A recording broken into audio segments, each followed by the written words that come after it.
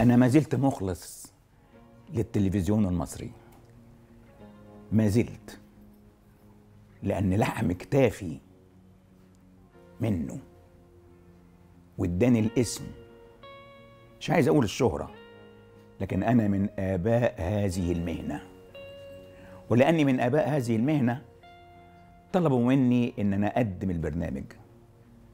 مع إن مقدمة البرنامج ست كمل ولها عطاء عام دينا عبد الكريم وهي قيمة بالنسبة للشاشة وأيضا تبحر في أجواء غير معلومة في شاشات الحياة والحياة شاشات.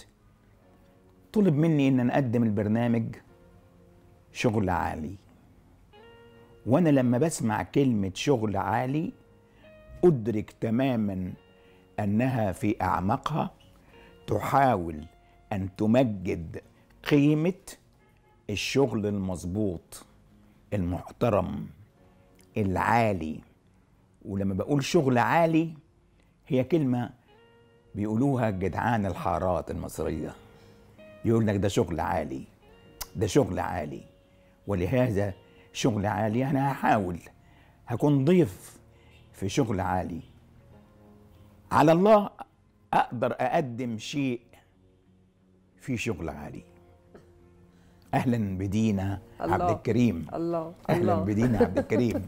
أنا ما كنتش أحلم ولا أتمنى مقدمة حلوة للبرنامج. الله يخليكي. وفهم لرؤيته ورسالته قد الكلام نعم. الحلو ده. نعم. أنا مبسوطة جدا جدا جدا ان حضرتك معانا.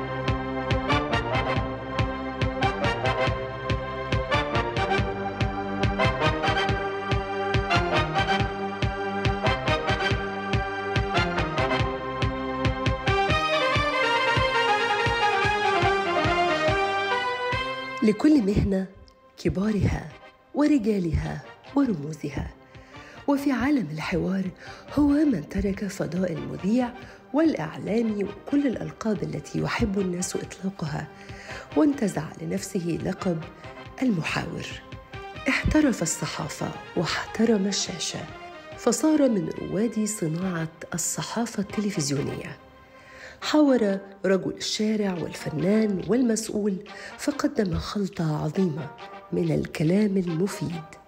اسمها مفيد فوزي. ده حضرتك كبير الشغلانة. إحنا. جايين لحضرتك النهارده لأنه إحنا بنتكلم عن مهنة المذيع. نعم. وكل حلقة إحنا بندور على كبير الشغلانة. نعم. آه صدقا أستاذ مفيد إحنا شايفين إننا ممتنين إنه اتعلمنا من حضرتك. أنا من آباء المهنة. ده حقيقي. نعم. مش كده؟ نعم. هو بداية مهنة الإعداد اللي بدأت على إيد حضرتك وطول الوقت الإعداد والتقديم مرتبطين ببعض. أتذكر جيدا أنت بتجيبيني لأيام بعيدة لكن سبحان الله أن ربنا أداني ذاكرة لم تصدأ بعد. ولهذا أنا فاكر كويس قوي أنه صلاح زكي كان من أشهر المذيعين الذي يقرأ الأخبار. هو الذي اختارني اختارني كصحفي. لبرنامج سميرة الكيلاني. أيوه. واحدة من يعني مقدمات الأخبار المهمات في الوطن العربي. قال لي هتقدم برنامج اسمه نص ساعة من وقتك.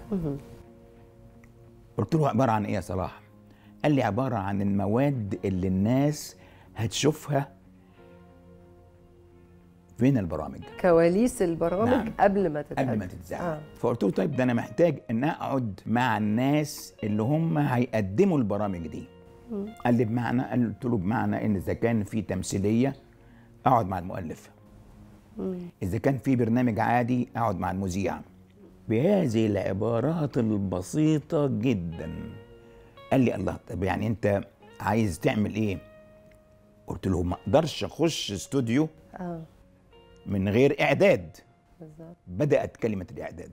ده حقيقي. صار الإعداد من مدرسة التلفزيون الطبيعية. بالظبط. بدأت أقعد مع الأساتذة المخرج المذيع. ثم رأيت أنه من حق المذيعة إنها تقول إيه إحساسها؟ وهي قارئة النشرة سميرة الكيلاني. قعدت مع المذيعة قلت لها يا سميرة أنا سأجري معك حوارا وأرجوك أنك اخرجي من سمت المذيعة القارئة للنشرة. أصلا ممكن أسألها أقول لها إيه رأيك في كلمة إعداد؟ فتقول لعل هذه الكلمة كلمة جديدة. آه، فتجاوب بالفصحى فتتقعر بقى. فتتقعر أيوة. فقلت لها من فضلك اخرجي عن هذا السمت وتكلميني بشكل بسيط. ولأول مرة دارت عدسة البرنامج وكان مع المذيعة ورق فيه النقاط مش الأسئلة. طبعا. وأيضا ورق مع المخرج فيه خط السير. ولأول مرة تظهر على الشاشة كلمة إعداد مفيد فوزي. وقد فرحت جدا أنني كنت أعتبر نفسي في ريادة هذا العمل. طبعا. حين صرت المحاور صار الإعداد جزء من طبيعة عملي. طبعا. يعني صياغة سؤالي تختلف عن صياغة سؤال أحد آخر. طبعا. السؤال عندي صياغة وسلاسة وسؤال حضرتك مقتضب جدا وقصير. نعم، أشهد نعم. إني في, رحلتي كمذيعة اتعلمت نعم. من حضرتك قد ما حضرتك أستاذ في, في الأسئلة وطريقة السؤال وصياغته قد ما اتعلمت بالأكثر الإنصات. أنا بسميه الإصغاء آه. ليه؟ أيوه. الإصغاء محرض على البوح. التلفزيون هو المغامرة الهامة التي يطرح فيها سؤال يتفرع فيها إلى إجابات. الإجابات تحرض على أسئلة أخرى وبالتالي هي في النهاية عملية فيها شطرنج. تسمح لي أرجع شوية ورا؟ اتفضلي. لأنه في شوية تعريفات وإحنا بنتكلم عن مهنة المذيع. إحنا وحشنا نسمع اتفضلي. آه، المظبوط بتاعها. الأول عايز أرجع من الأول خالص. من نعم. أول ما تحول المذيع من قارئ نشرة إلى مذيع محاور. الفرق بين المذيع وقارئ النشر؟ قارئ النشرة محايد تماما. أما المذيع فهو الذي يخرج عن هذا الحياد ويصبح هو نفسه. لأنه الخلاف في وجهات النظر مع المذيع مع الضيف هي نوع من الصياغة الذكية للبرنامج. ثق تماما أنه الذي اختارني قد قرأ حواراتي الصحفيه آه أكيد. ومن هنا كان ذلك الاختيار مبني على انه هذه الشخصية هي شخصية المحاور. في مهنة المذيع هي مهنة بدأت على أيدي كبار وحضرتك كمان كتبت في كتابك كده إنه مش كل المذيعات زمان كانوا مثقفين. صحيح. لكنهم تثقفوا بفريق الإعداد. صحيح. ده صحيح. ده صحيح. ليه؟ لأن الإعداد معلومات. شربوا المعلومات أو شربوا أوراق الإعداد. مش كلهم. انت تذكر ليلى رستم بتحترم تماما. سميرة الكيلاني تحترم تماما. همة مصطفى كانت تحترم الأوراق تماما. وأسماء أخرى كثيرة لا تسعني الذاكرة. إنه دو يحترموا الأوراق لأن أوراق الإعداد فيها أفكار المعد وأفكار المعد معناها خطة سير البرنامج أو الصياغة الأدبية التي تسير عليها أسس البرنامج. لازم أقول لك إنه هؤلاء صنعوا مجد ماسبيرو. وماسبيرو في نهاية الأمر هو القاعدة الأساسية في وجدان أمة. ينبغي أن يقال هذا تماما. ولا آه، نقلل من ماسبيرو لأن ماسبيرو هو الذي صنع المثقفين. وخلانا نشوف المثقفين. لم يكن يرى الناس من قبل طه حسين. ولم يكن قد رأوا محمود أمين العالم. ولا أنيس منصور ولا مصطفى أمين ولا ثروة عكاشة كل هؤلاء رأوهم على شاشة التلفزيون المصري حضرتك عندك حاجة رائعة ما أعرفش حضرتك مدرك قد إيه هي جميلة ولا لأ بالنسبة وهي؟ لنا إنه ممكن أنا أكون على الهوا وحضرتك تبعت رسالة نعم تقول لي يا دينا خلي بالك من كذا نعم صحيح اسألي كذا أنا صحيح. مدينة لهذه الرسائل أشكرك. الحلوة أشكرك. وأعتقد إن حضرتك بتعمل كده لا ي... مع أنا, أنا بستخدم تعبير أدبي مهم. لا يفوتك أن. الله آه. أيوه ده حقيقي ده حقيقي ده حقيقي. آه. لا فاعتقد إن. حضرتك آه. بتعمل كده آه. مع مع ناس كتير أكيد. سؤالي بقى. نعم. إيه اللي ناقص جيل المذيعين الحالي تحديدا في نقطة في نقطة إن يبقى له كبير؟ يعني الثقافة. نتعلم من مين؟ الثقافة يا دينا. مم. الثقافة. اللي أنا ما كنت لأختار مم.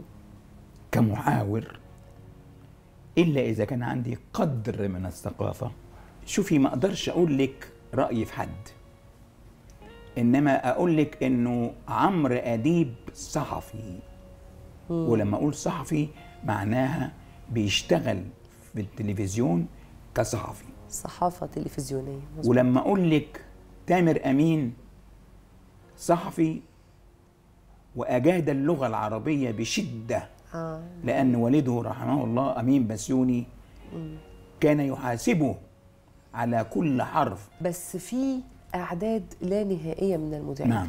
وده يخليني أسأل بقى سؤال تاني. إيه الوصفة اللي تجعل مذيع يلمع في وسط عشرات من الأسماء؟ ما فيش وصفة معينة إنما هي أن يتصف بالذكاء. لأن ذكاء المحاور على قمة أساليبه. على سبيل المثال من الممكن إن أنا وأنا قاعد معاكي شيء من الإلهام الذكي يجيني. أقول لك أنت لابسة ساعة كبيرة ليه؟ زي ساعة الكبار أو معنى أدق ساعة الرجال. آه. صح. سؤال وهي لذيذ. ساعة كبيرة. آه. نعم. ولا لكن تليق بك. ماذا لو قلت لك أن الزمن مهما طال لن يوقع بتوقيعه عليك؟ أنبسط. نعم. نعم. فتسعدين. آه. شوفي فتحت كذا سؤال لمجرد ملاحظة. بالظبط. اسمح لي أدون أنا كمان ملاحظات. آه. اللي حضرتك بتقوله ده يعني ذكاء. نعم. ويعني ثقافة ويعني حصيلة لغوية. نعم.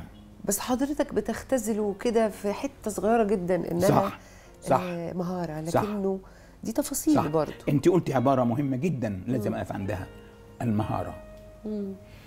لما تقولي شغل عالي لازم تقولي مهارة عالية. ده حقيقي. الشغل العالي هو المهارة العالية. الشغل العالي هو الذكاء. هو استغلال الفرص الذكية في شخصيه المحاور. شوفي الجيل اليوم حيارة. بس تعبير دقيق تماما. وتحدي أخير عايزة أشارك نعم. حضرتك بيه. إنه آه، بي- بيقولوا إن السياسة هي فن الممكن. نعم. إذا قلنا إنه في مذيع آه، اختياراته محدوده نعم. المتاح أمامه محدود الفرص أو المجالات اللي يستطيع التحدث فيها محدوده لكنه بمعايير اللي حضرتك بتكلمنا عنها يقدر يصنع تميز إزاي؟ تمام. إزاي يعتمد الأمر على الذكاء يعتمد الأمر على الثقافة يعتمد الأمر على سلامة الوجدان وال مش أنت أنت شخصيا لما جيتي تختاري اخترت برنامجك وهو عبارة عن روح المهارة. ده حقيقي. روح المهارة. أنا من أول ما دخلت البيت وأنا مبهورة بكم التفاصيل اللي في بيت حضرتك نعم. بالمناسبة. نعم. وعشان كده نفسي أسأل في تفاصيل كتير بسرعة جدا نعم. بال... بال... بالطريقة التي تفضلها. أستاذ مفيد. على مدار المشوار الطويل إيه أجمل أكتر حوار حضرتك تعتز بيه؟ وأكتر ضيف تعتبره كان ذكي وكان حواري مع محمد حسنين هيكل. تحول إلى حوار صحفي. سميته هيكل الآخر. طبعا. وحولته إلى كتاب. طبعا. تفصيلة أخرى أستاذ نعم. مفيد. إلى أي مدى حضرتك ترى إنه مقومات ال- الشكلية للمذيع مهمة؟ في ميزان الشكل وتحديدا لأنه إحنا كبنات يعني وإحنا صغيرين كان يقولوا الله البنت دي أمورة اطلعي مذيعة بقى. فوكأن اخت- اختزلت هذه المهنة في الجمال. الإجابة؟ الطلة. ليس في كمفيد فوزي جماليات يمكن أن تعبر عن المذيع المسمسم. المذيع جلسة هادئة عينان واضحتان. ذكاء مستتر. طل طول الوقت. آه. ثانيا المذيع وخلفيته. الخلفية الثقافية هي خلفية وجدان واعي تماما لما يقال مصغي. الوعي ده هو الذي صنع هذا الرجل. أنا مش عايزة أختم لكني قبل ما بنختم عايزة أسأل حضرتك سؤال أخير عبارة عن تداعي حر. هقول لحضرتك كلمات وحضرتك قول لي وقعها عليك نعم. بسرعة وببساطة وبدون تفكير لكن أنا عارفة إنه عقلك مليان بالأفكار. تعريفات يا أستاذ مفيد. تعريفك للمشوار الشخصي للنجاح. المثابرة بشغل عالي. دي حاجة تشرفني طبعا إحنا أشكرك. محطوطين في التعريف. أشكرك. آه الصحافة. دمي ودموعي وابتسامتي. الله. طبعا التلفزيون. ماء الحياة الذي يجري في أعماقي؟ العائلة. أنا من عائلة مصرية متوسطة ولكني برزت لأنه كانت أمي ترى إن أنا على وشك يبقى ليا شغل عالي في المستقبل. آه. أخيرا نعم. إيه وقع كلمة المهنة على الأستاذ مفيد فوزي؟ عشق. جنوني سواء في الصحافة سواء في الكتابة سواء في التلفزيون. أؤمن أيضا بشيء غريب أن كل هوار أصل إليه أقول أعتقد أنه اللي جاي هيكون أفضل. هيكون أذكى. هيكون في شغل عالي أكتر. وكأنك تقرأ أفكاري أستاذ نعم. مفيد. شفت ادتني عدوى الفصحى. نعم. ما بتكلمش بالفصحى كتير. أنا بشكر حضرتك شكرا. أشكرك جزيلا. أستاذ مفيد. كل الاحترام ليك شكرا جزيلا. انك واحد من آباء المهنة وإنك تعمل حقيقي شغل عالي. شكرا أشكرك يا فندم.